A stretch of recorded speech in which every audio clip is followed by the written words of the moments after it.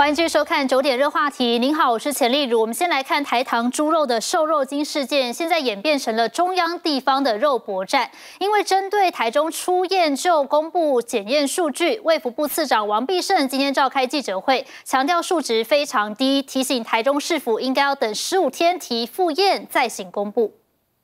台中市食安处验出台糖安心屯冷冻梅花猪肉片有不得检出的瘦肉精西部特罗，卫福部次长王必胜却直言，不知道台中市进行公布考量的是什么。检验值它非常的这个低，我们也有提醒台中市政府审慎一点调查，好，那再做公布啊。但是台中市政府就进行公布，那他我想台中市政府一定有他的理由，基于保护消费者。保护市民健康的权益，所以我们必须及时的公布这个异常的情况。毕竟是验到了不得检出的瘦肉精，食安处不敢大意。二月二号下午，韩文与去电通知源头业者所在地的屏东县卫生局以及产品责任商所在地的台南市卫生局查办，并且发布新闻稿。一般来讲啊，就是我们会等十五天然后等他提出复验。假设他要提出，那我们就再验，看是不是确实是这样。但是我不知道台中市的考量是什么。这回是抽验台糖梅花猪肉片遇到问题。次长这样说，但回过头来看以前，包括行政院消保会抽验蔬果验到农药超标，也是出验就公布业者名单跟品相，再移请卫生机关及农政机关依法处理。财团法人消机会抽验，一旦检出违规超标，也是直接公告。如果我们不立刻公告，等到复验的话，这个连结性还有季节性的一个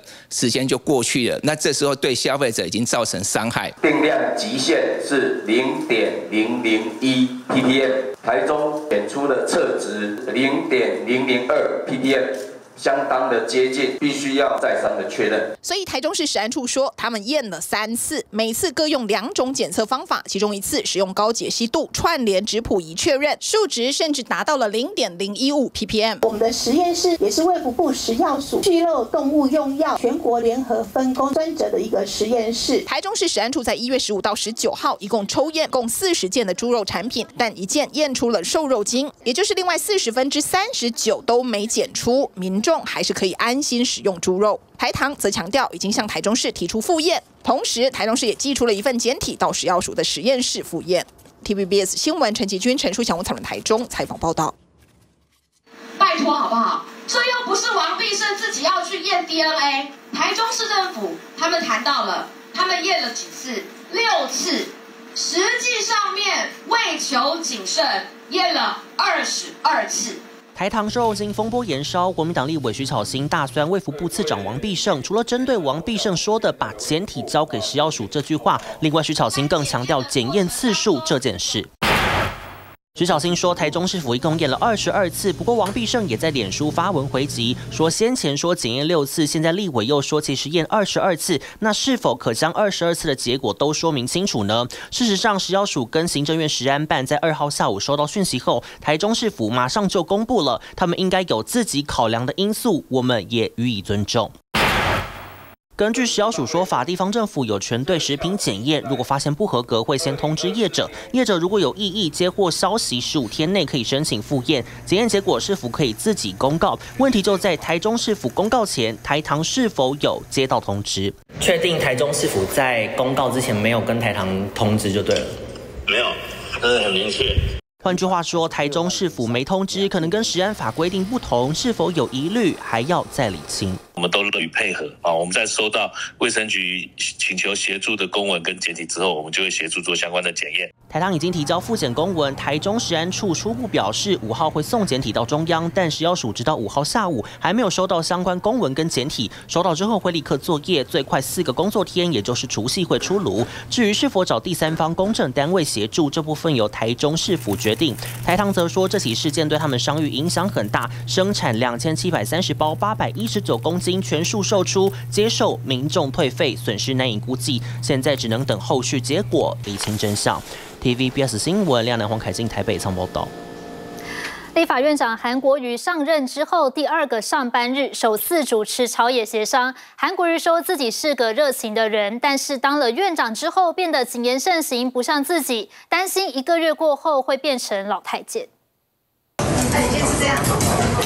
午餐时间，跟着立院职员在餐厅排自助餐，仔细一看，这不是新任立法院长韩国瑜吗？小黄瓜，挑完配菜还不忘叫老板加个菜包。韩国瑜院长上工第二天中午没离开立院，跟着吃员工餐，似乎想赶快跟立院融为一体，因为总听到这样的声音：当选院长这个三天来啊，接到很多电话关切，注意哦，不要随便开玩笑哦。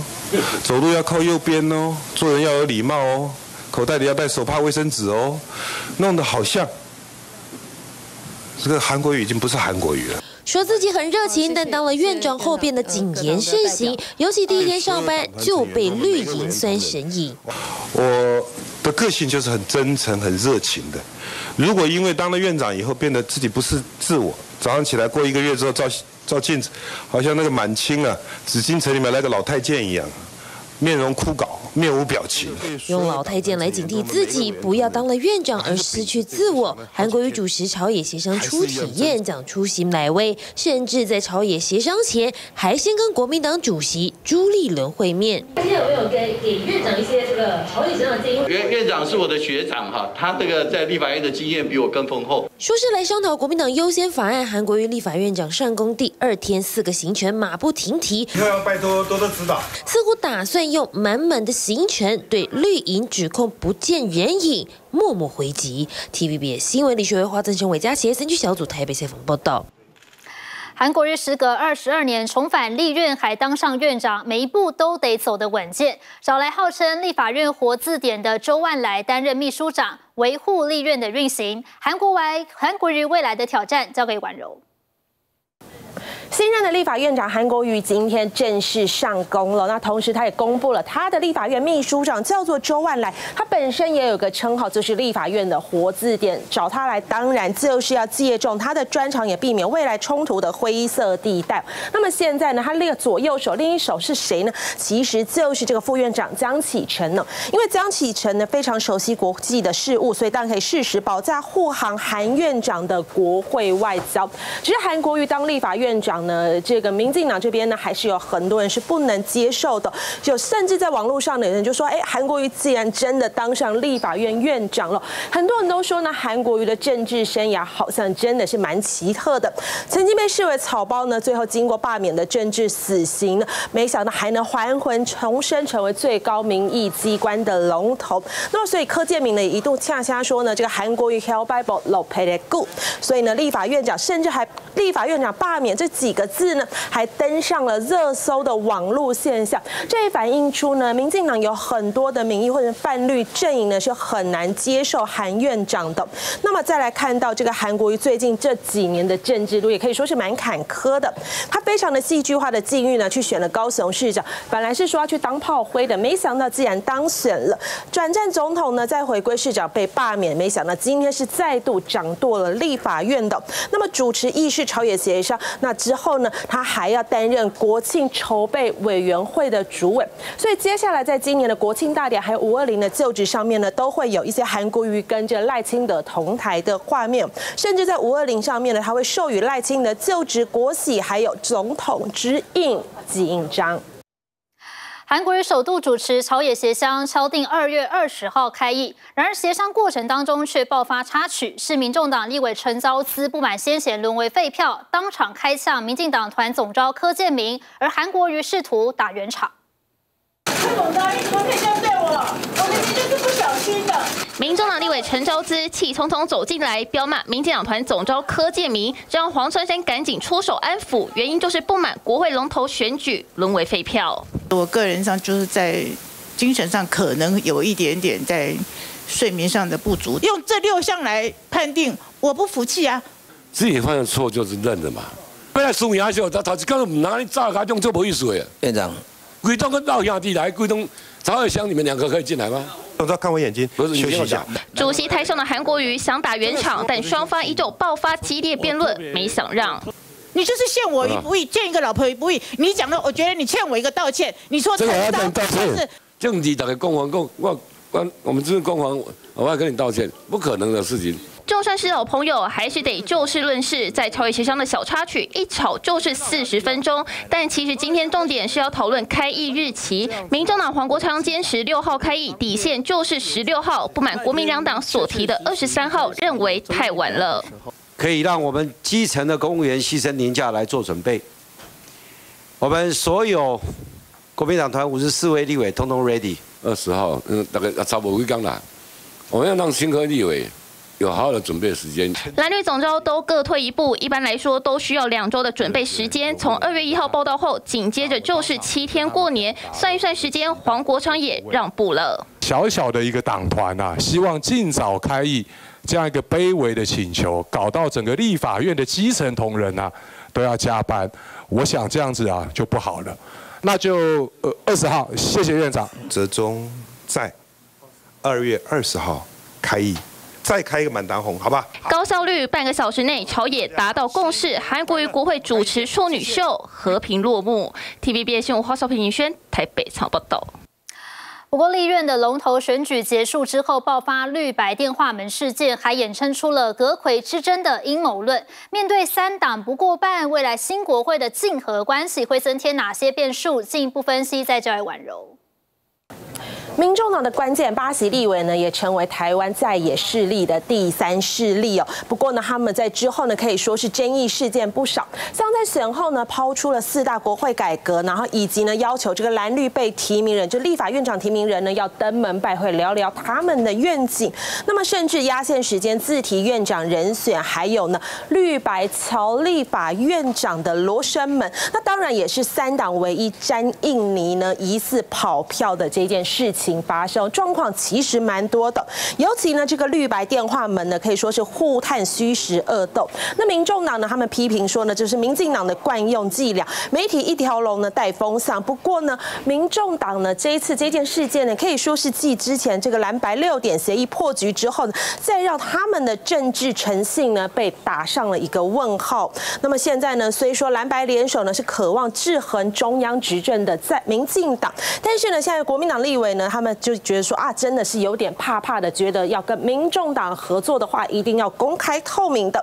新的国会新战场，三党不过半，如何竞合呢？其实现在呢有了新的局面，但是随着争议事件越来越多呢，也让蓝绿两大党现在都是戒慎恐惧的。还想知道更多的新闻内容吗？赶快拿起手机扫描旁边的 QR code，加入 TVBS 新闻 App，更多的即时讯息带你一手掌握。好，电话门事件持续延烧。民众党今天针对两名记者跟所属公司，还有民进党及民进党的发言人吴征各求偿一百万元，但对此吴征表示尊重，但也反酸，求偿一百万他会破产。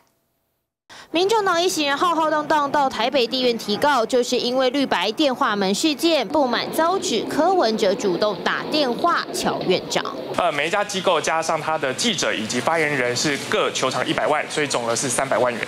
提告对象包含两家媒体记者以及民进党和民进党发言人吴娟，只是这提告没按铃，因为告的是民事诉讼而非刑事诉讼。难道是怕万一告不成，反被控告？诬告吗？司法过程当中呢，每个人都有主张的权利。不过呢，我们的诉讼策略就是提告民事，同时提告民事呢，它并没有侦查不公开的问题，它可以将整个诉讼的过程一五一十、明明白白的公众于世。尊重这个民众党和柯主席他们行使法律上的权利了。但我想，其实从他们今天提告动作也凸显出来，民众党是在转移焦点。被告的吴征嘴上说尊重，但也替自己叫屈。我的存款只有七十六万元，还不到一百万，所以万一真的要赔一百万，我就破产了。